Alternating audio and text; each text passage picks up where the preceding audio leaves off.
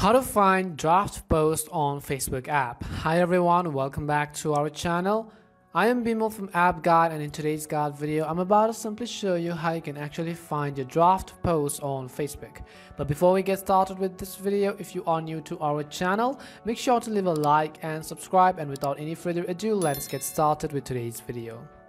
So first of all, what we are going to do is simply make sure we have actually updated the Facebook app to the latest version. If you haven't updated already, you can head over to your app store in the search box type in Facebook and go ahead and simply update the app. Once you're done updating, I'm going to open it and the next thing you want to make sure is that you are logged into your account. Now, how do we actually find a draft post on Facebook? In order to do that, first of all, I'm going to simply save a certain post as draft. So let me go ahead and tap on the status icon. Let me go ahead and simply create a simple post first of all.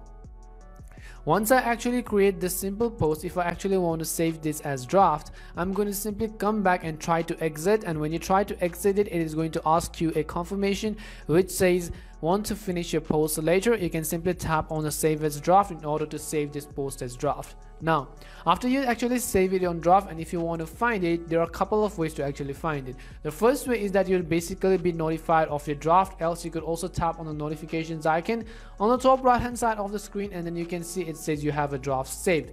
But in case you don't find those draft posts on a notifications icon or on a notifications panel as well, what you can do is in order to find that particular draft post, you can simply go ahead and try to create a simple post.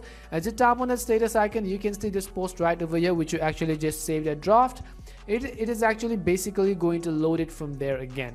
Now you could go ahead and make simple changes to it if you wanted it to. You can also go ahead and actually simply change the privacy settings right over here to only me if you want. You could also go ahead and add some captions add a few photos tag a few friends if you wanted to and go ahead and make the changes accordingly as per your own need. Once you're done making the changes if you actually want to post this photo or this post you can simply tap on the post button on the top right hand side of the screen and you could simply tap on the not now button in order to not post this to facebook this was the way to very easily find your draft post on Facebook. We hope this video was really helpful and if it did help you, make sure to leave a like and subscribe to the channel. If you've got any more questions, queries or doubts, simply make sure to also leave them down in the comment section. Thank you very much for watching and see you soon in our next video.